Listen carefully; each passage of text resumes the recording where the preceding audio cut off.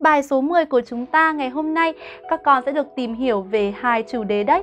Chủ đề đầu tiên chính là School Events và chủ đề thứ hai chính là Sports Activities. Vậy thì bây giờ hãy cùng cô bước sang phần đầu tiên. Hãy xem xem là ngày hôm nay chúng ta sẽ học về những chủ đề từ vựng và mẫu câu nào các con nhé. Trong bài số 10 của sách lớp 5, các con sẽ được tìm hiểu về những từ vựng sau. Sports Day. Open Day. School Anniversary. Orientation Day.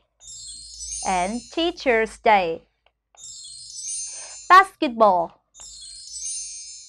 Football. Table tennis. Badminton. Volleyball.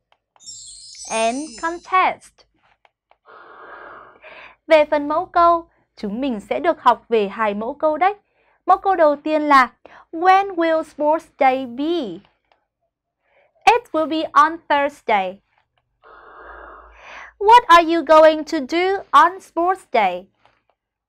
I'm going to play basketball. Bây giờ, các con hãy cùng cô bước vào phần đầu tiên của bài học ngày hôm nay nhé. Hãy cùng cô tìm hiểu xem là trong phần từ vựng đầu tiên có chủ đề là Sports Event. Chúng mình sẽ được học về những từ vựng nào các con nhé.